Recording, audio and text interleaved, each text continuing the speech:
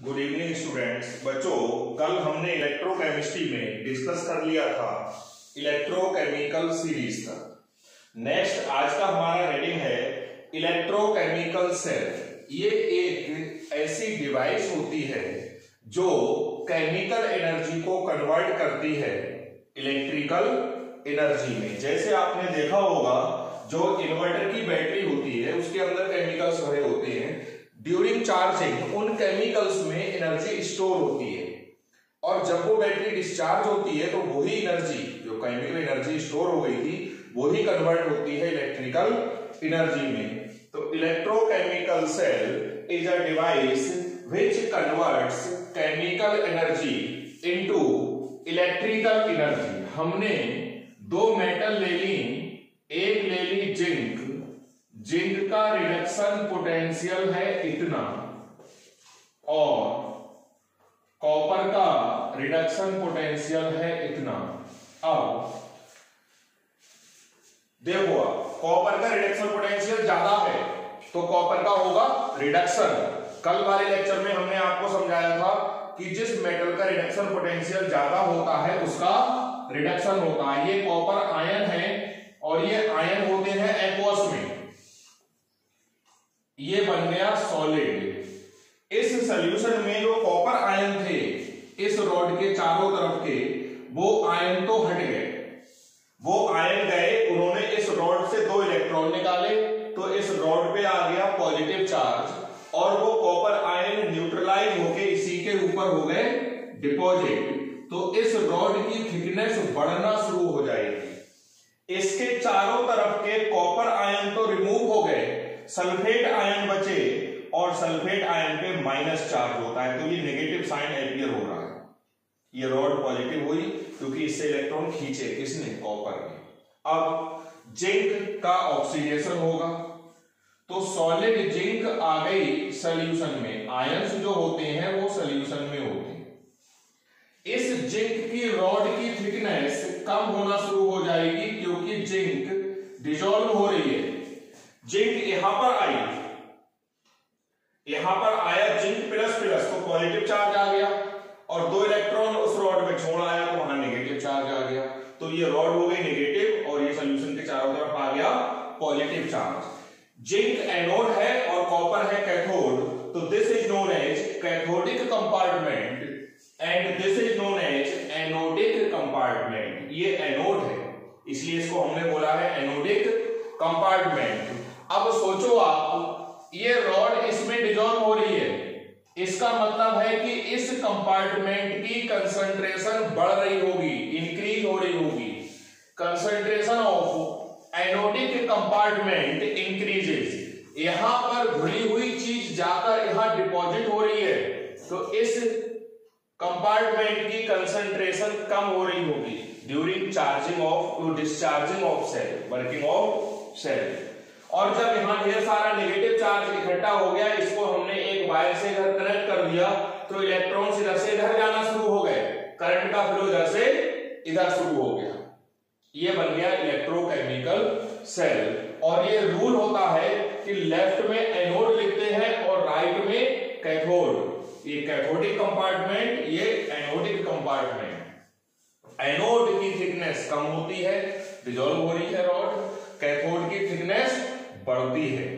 Electrons का flow हो रहा है एनोड से कैथोड की तरफ़. और करंट का फ्लो हो रहा है कैथोड से एनोड की तरफ़ ये मैंने कैपिटल आई से रिप्रेजेंट करा है ये करंट है।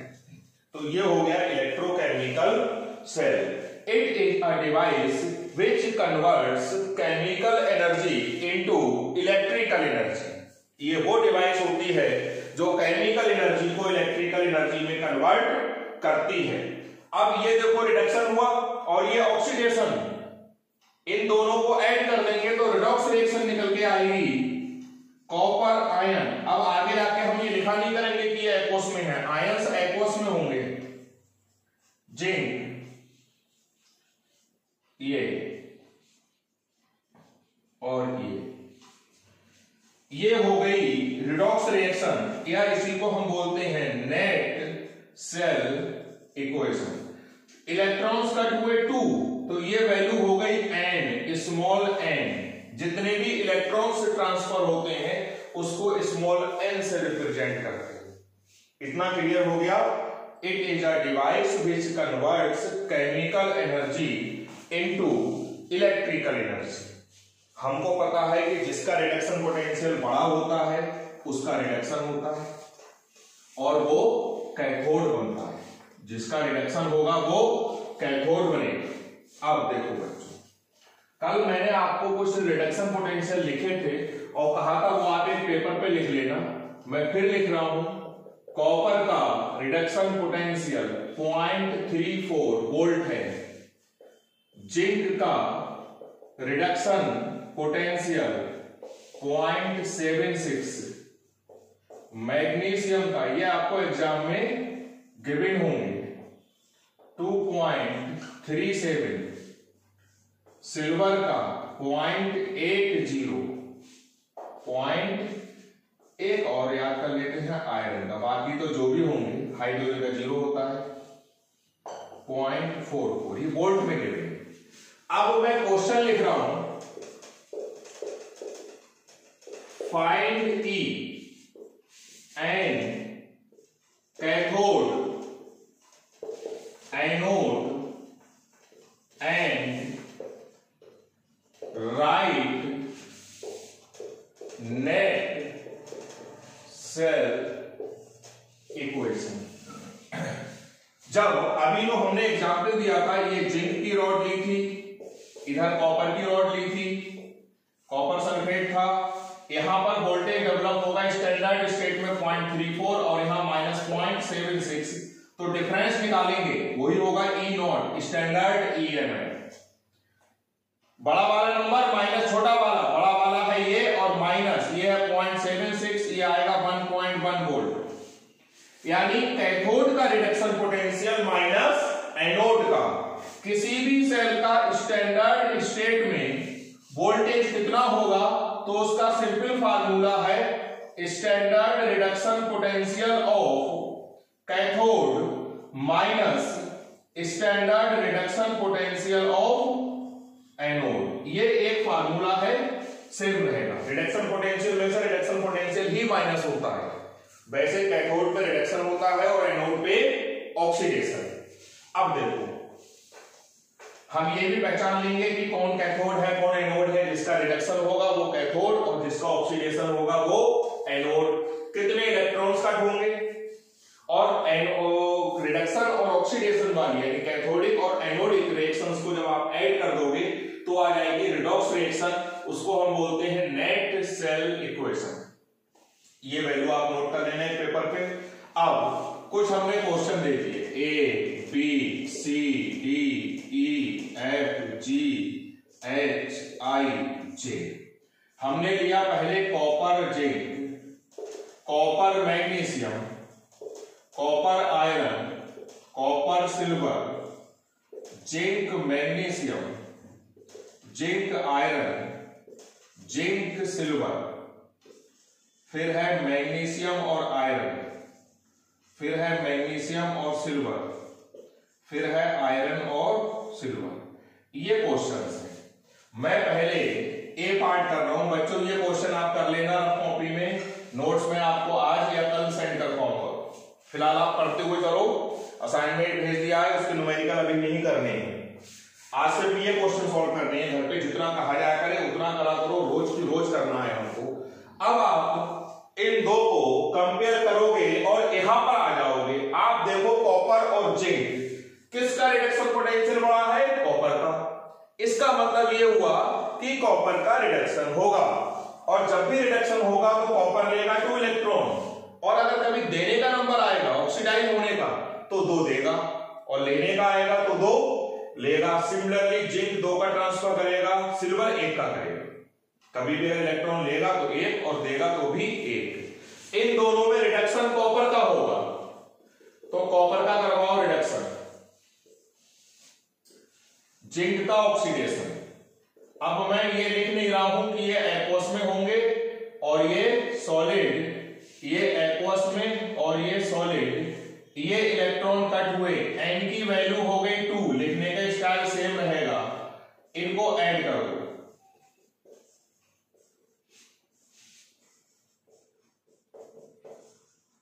ये हो गया। This is net cell equation इसको क्या बोलोगे? ओवरऑल सेल इक्वेशन के निकालो। यहाँ पर एक टर्म मैं लिख दे रहा हूँ के के क्या होता है? इक्विलिब्रियम कांस्टेंट की तरह निकालते हैं। इक्विलिब्रियम कांस्टेंट तो नहीं होता है इक्विलिब्रियम कांस्टेंट तो तब बोलोगे जब रिएक्शन इक्विलिब्रियम में होगा। प्रोडक्ट की मोलरिटी अपॉन रिएक्टेंट की प्रोडक्ट में ये नहीं लिया जाएगा कॉपर क्योंकि ये सॉलिड है। और हमको पता है कि सॉलिड की मोलरिटी मोलरिटी का मतलब ये स्क्वायर ब्रैकेट हमेशा कांस्टेंट होती है और उस कांस्टेंट को हम सिंपलिसिटी के लिए वन यूज़ करते हैं, जिससे कि कैलकुलेशन आसान हो जाए। तो सॉलिड छोड़ दो, यानी कॉपर गया, जिंक की मोलेरिटी बची, जिंक आयन की। ये गिवन होगी अपान रिएक्टेंट में ये भी लिया जाएगा, क्योंकि ये सॉलिड है। कौन लिया जाएगा सिर्फ़? कॉपर दिस इज़ के के आ गया। नेक्स्ट सेल इक्वेशन आ गई यानी हमारी आ गई नेट सेल इक्वेशन आ गई के आ गया एन आ गया रिडक्शन हुआ कॉपर का तो कैथोड बना कॉपर एनोड बना जिंक अब ई नॉट तो सिंपल सा फार्मूला है बच्चों, ये वाला।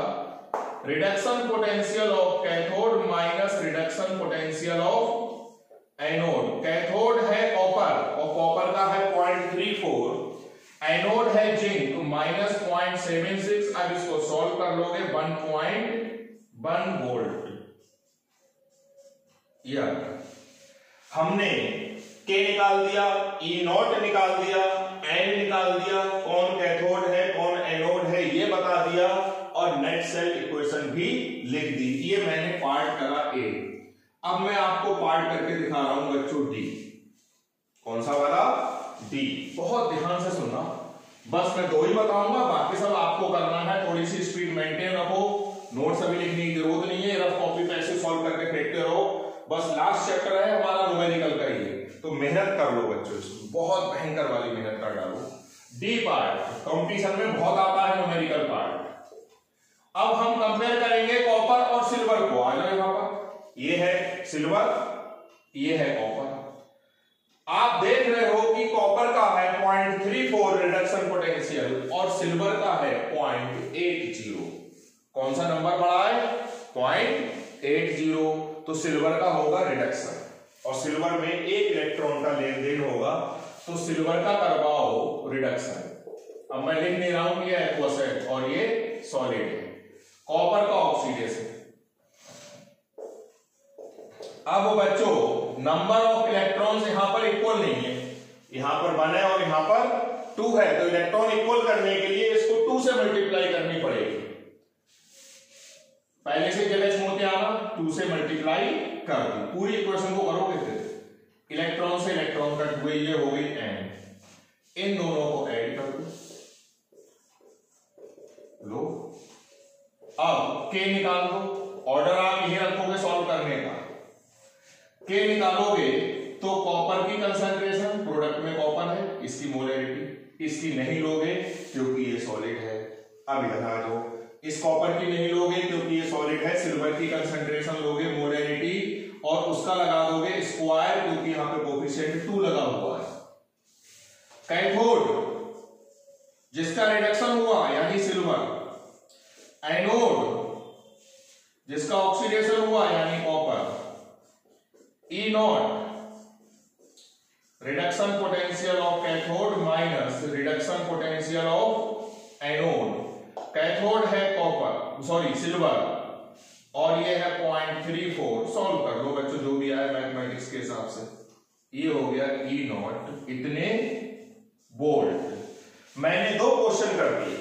बाकी ये सारे आप करोगे ए से लेके जे तक। कॉपी पे रफ कॉपी पे फेयर पे नहीं करना है। रफ कॉपी पे करोगे और इन सबके आंसर लिख के ग्रुप में सेंड करोगे। जैसे इसका आंसर आया हमारा 1.1 इसका आया पॉइंट फोर सिक्स तो इस टाइप से आप आंसर लिख के सॉल्व करोगे। इस टाइप से आंसर लिख इससे मुझे पता लगे कि आप कर रहे हो। आपकी तरफ़ से अगर रिएक्शन नहीं आएगी तो फिर मैं कोई भी एक्शन करना बंद कर दूँगा। मैं तभी पढ़ूँगा जब आप रिस्पॉन्ड करोगे। वो जो बच्चे रिस्पॉन्ड नहीं करेंगे, फिर उनको ग्रुप से मैं हटाऊँगा। जो बच्चे रिस्पॉन्ड नहीं करेंगे, उनको ग्रुप से मजबूरी में मुझे रिमूव करना पड़ेगा। तो आज रात के दस बजे तक या ग्यारह बजे तक इन सबके आंसर आपके आ जाने चाहिए, जिससे कि सब एक दूसरे से क्रॉस चेक भी कर लोगे। इतना काम बच्चों आपको करना है। तो आज मैंने बहुत ज़्यादा ही पढ़ाया है, लेकिन मैंने ये होमवर्क दिया है और ये आधे से एक घंटे का है। लिखने का स्टाइल बिल्कुल सेम रहेगा। पहले नेट सेल इक्वेशन फिर के फिर कैथोड एनोड फिर ई नोड सेम ऑर्डर में चलना क्योंकि कल हम न्यूमेरिकल करवाएँगे नर्स इक्वेशन के। और वो तभी आपसे हो पाएँगे जब आप आज का ये काम कर लोगे। कल हम आपको पढ़ाएँगे सॉल्ट ब्रिज उसकी प्रॉपर्टीज़ और उसके करेक्टरिस्टिक्स वही प्रॉपर्टी हो गई और उसके यूजेज एप्लीकेशन और नर्स सेल इक्वेशन उसके बाद इसमें नेक्स्ट टॉपिक आना शुरू होंगे। कोरोजन भी इसी में है। प्राइमरी और सेकेंडरी सेल भी इसी में है। फराडेज लॉ भी इसी में है। इलेक्ट्रोलिसिस भी इसी में है। चिंता मत करना, हमारे दो चैप्टर कंप्लीट हो चुके हैं और ये थर्ड चैप्टर है। पाँच से छह दिनों अभी इसमें और लगेंगे। यानी सात या आठ लेक्चर में कंप्लीट होगा। आज का हमारा ये लेक्चर टू है। दस बजे तक या ग्यारह बजे तक जिन बच्चों के आंसर नहीं आएँगे, आज मैं बच्चों उनको ग्रुप से रिमूव करूँगा थैंक यू